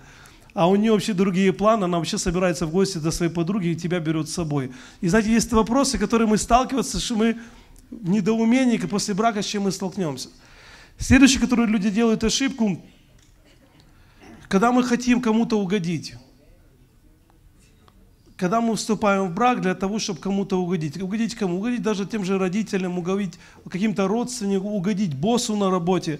И мы кому-то угождаем. Поймите, вы решаете это решение вашей жизни – Слышите меня, да? Я понимаю, с родителями нужно советоваться, но угождать родителям не нужно. Вы делаете решение, это ваша жизнь, это все ваше фьючер. И это очень важное решение, которое вы должны его сделать правильно. Поэтому я хотел бы, чтобы об этих моментах вы задумывались. Один из моментов, когда тоже знают мало друг друга, для этого нужно время. У нас один приехал брат с Аляски, и наша сестре сделала предложение. Знаете, она ему сразу дала отказ. Ну, приехал с Аляски, она вообще его не знает. Он пришел, все, я тебя люблю, а ему уже было, было ближе к 30. Она говорит, как, что я ему, я ее спрашиваю, что такое? Что я ему скажу? Я потом его встречаю, мы с ним хорошие друзья. Я говорю, что ты вытворил там? Говорит, ну что такое? Ну пообщайся с человеком. Ты классный хлопец, а, а именно знаете, шайн такой, добрый, знаете, такой шайн человек, который говорит ничего не может, стесняется. И знаете, он взял под с ней, пошли они пообщались, поговорили, где-то погуляли, там Акилтива бич у нас, они прошли себе, подышали воздухом. Все, после этого буквально на служении побыли, был кем такой, они еще там пообщались. Все, смотрю, все надало добро, хорошо, счастливо живут. Есть моменты, когда нужно все-таки знать друг друга узнавать. Поэтому нужно время, чтобы именно узнавать. И последний вопрос, который бывает, люди делают ошибки, почему брак неудачный, что мы представляем брак, что, знаете, мы выйдем замуж, у меня будет, о май гаш, такой, знаете, все так будет так классно, все будет так четко, что I love you будет, мы, у нас, когда проводим курсы перед браком, то мы один из этих моментов мы высвечиваем, что вступая в брак, все не будет так хорошо, как вы думаете. Все думают, ну вот те живут плохо, или мои брат, или моя сестра, или мои родители, там у них не так. Вот у меня в браке будет все классно, perfect. И знаете, как вышли замуж, и потом такой perfect, что сами чухаются, думают, что я сделал, да? Что это было. Поэтому я бы хотел, чтобы вы настраивались на брак, что будут проблемы. Будут трудности, будут переживания, но с ними нужно будет справляться, какие-то вопросы решать. И здесь это отдельная большая тема, на которой можно говорить. И знаете, это вопросов очень много здесь. Здесь вопросы, потому что мужчины и женщины устроены по-разному. У вас за это уже будут проблемы. Могут быть или нет? Только из-за того, что физиологически мы устроены, мужчины и женщины по-разному, из-за этого уже будут проблемы. Просто вам такой у нас пару минут еще есть или нету? Если вы скажете аминь, я уже заканчиваю аминь. Пару минут еще есть? Просто для вас, мы бывает супер духовные, но бывает жизненно элементарно приводит нас в чувство. Физиологически мы устроены по-разному. Почему? Мужчина и женщина видят по-разному. Вы знаете это? Наше зрение, мужское, мужское зрение называют бинокль. Женское называют прожектор. Чтобы было более понятно, сестры, что вы, допустим, если вы говорите своему брату, да, или там, или вы слышите, мама говорит папе, принеси сметану там с холодильника или колбасу, или что-то другое, сыр, и вот мужчина, что приходит к холодильнику, он открывает, знаете, что он делает? Он со своим биноклем начинает каждую полочку искать. А жена уже говорит, да я тебе говорю, достань сметану. Значит, а я, моя жена бывает на да что ты там найти не можешь? Я говорю, я тебе бинокль куплю, говорю, скоро. Я говорю, вот сестры, если вы не хотите понять нас, то возьмите просто бинокль и ищите сметану, то есть, знаете, и будете каждую полочку. А вам проще, вы открыли, вы прожектором как засветили, и весь холодильник у вас все нормально. Поймите, мы физиологически, из-за этого уже проблемы. Серьезно, в многих семьях бывает проблема, он никто не делает. Допустим, у нас у мужчины и женщины два полушария, да? Мы устроены так, что ну, у мужчины она работает по очереди одно, потом второе начинает. А у женщины работает два сразу.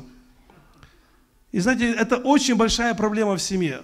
Почему? Потому что женщина хочет, чтобы у мужчины три работало сразу. Допустим, я беру пример своей семьи. Просто моя семья, я, допустим, пришел после работы, моя жена готовит кушать, я, допустим, включил себе какую-то проповедь, слушаю на телефоне, да, сижу в левин-руме, слушаю какую-то проповедь.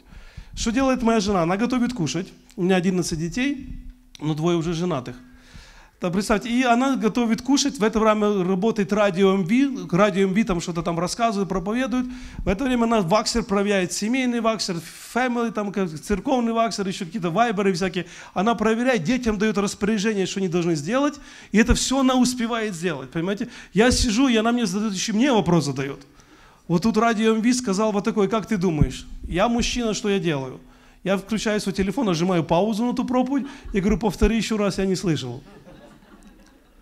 И она начинает, что она начинает мне рассказывать, и знаете, буквально проходит еще там несколько минут, она все дальше крутится, там плита, там майкровейка, все у нее работает, все бегом, кого-то кормит, и ну, успевает все сделать. Я сижу же дальше себе все это наблюдаю, знаете, это проповедь. Потом, в конце концов, она через несколько раз задает мне 3-4 вопроса, в конце потом бахнет рукой, да я с тобой не хочу разговаривать. Я задал вопрос, ответь сразу. И я, я смотрю, мы, мы устроены, поймите по-разному. На самом деле мужчина не может сделать все сразу. Если я иду в гараж, я иду в гараж, я несу какую-то там, какой-то гарбич или что-то другое, но я не думаю, что мне еще по пути в гараж еще что-то надо зацепить с собой.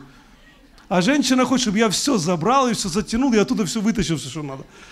Если мне говорят, я делаю то, что нужно мне сделать. А мужчина, у него, знаете, такой баксы, все, все в баксах, только у женщины без баксов все, ну просто. И на самом деле мы устроены, поймите, вы вступаете в брак, и уже проблема будет, почему мы устроены по-разному. Или, допустим, и Бог так устраивает, почему женщине свойственно устроять семью, воспитывать детей именно больше, а мужчина свойственно больше работать. К примеру, или вопрос переживания боли. Допустим, если я заболел, у меня температура, да, допустим, там по-русски 37, до сих пор не перешел на американскую эту еще, градусы, знаешь. 37 просто, 30, 37. 36 это нормал. 36 на один, вот, допустим, на один температура, знаете, я пришел с работы, меня уже трухает, я такой, я говорю, я говорю, иду в кровать, это все, она мне уже принесла там чай с малиной, все как положено, все хорошо, знаете, я уже пью, там, трушусь под одеялом, проходит время, знаете, подходит она вечер, всех уже уложила спать, она приходит, говорит, что-то у меня чуть-чуть, говорит, что-то голова побаливает. Ставит градусник, у нее там 102 или 103, знаете, такой, я в шоке, уже под одеяло залез еще больше. На самом деле, а когда женщина говорит, что ты там уже начинаешь? Мужчина, мы настолько, мы не, не чувствуем, мы боль намного переносим сложнее, чем женщина. И поймите, это на самом деле это реально так происходит. Почему? Бог заложил женщине, чтобы она могла родить детей. Мужчина, если бы родил, я не знаю, что с нами было. Поумирали бы точно. Почему сейчас опыты всякие делают для неверующих, чтобы они там рожают, что-то они там умирают. Но поймите, физиологически мы устроены по-разному. И таких моментов в жизни перечислять ему очень можно. Почему? Бог для мужчины дал одну роль, для женщины дал другую роль. И для этого, вступая в брак, вы должны настраиваться на то, что конфликты будут. Ради того, что мы мужчина и женщина по-разному. То, что мы растимся или рождаемся и живем в разных семьях. Как вы думаете, это проблема или нет? Это да, мы, мы совершенно разные. И вот у нее менталитет, у нее нарисована одна картина, да, у нее папа занимается финансами в семье, и вот она вышла замуж, приходит, думает, что у нее муж будет финансами. А муж вообще далекий от финансов, у нее мама все там руководила. И поймите, на таких моментах простых и люди попадают. И в одной семье у нас, допустим, только папы скупляются. Я знаю несколько семей в церкви, мамы даже в магазин их папа не пускает. И вот дети растут в семье, у них уже слаживается мнение, что вот оно будет так, будет вот так, у них в семье. И мы особенно, когда люди вступают в брак, мы проводим и говорим, вы должны узнать друг друга вообще, как человек представляет брак. Что на самом деле, как человек нарисовал картину своего брака. У кого финансы, кто будет, готов ли убирать. У некоторых семьях вообще, если муж помоет посуду, это грех. Это такой грех, за который уже Царство Божие не попадет. А других это наоборот нормально. Она, жена только лежит, только командует. Папочка, помой там, пожалуйста. Знаете, он бежит, уже моет посуду, уже пылесосит всё- и все делает. В каждой семье по-разному. Поймите, вы вступаете в брак, уже у людей у нас уже есть представление. Это большая тема, которую можно говорить, но я просто хотел бы вам оставить штрихи, немножко, чтобы вы подумали, что вступая в брак, вы столкнетесь с проблемами. Вы столкнетесь с конфликтами. Но вопрос в том, что как их избежать, это быть открытыми.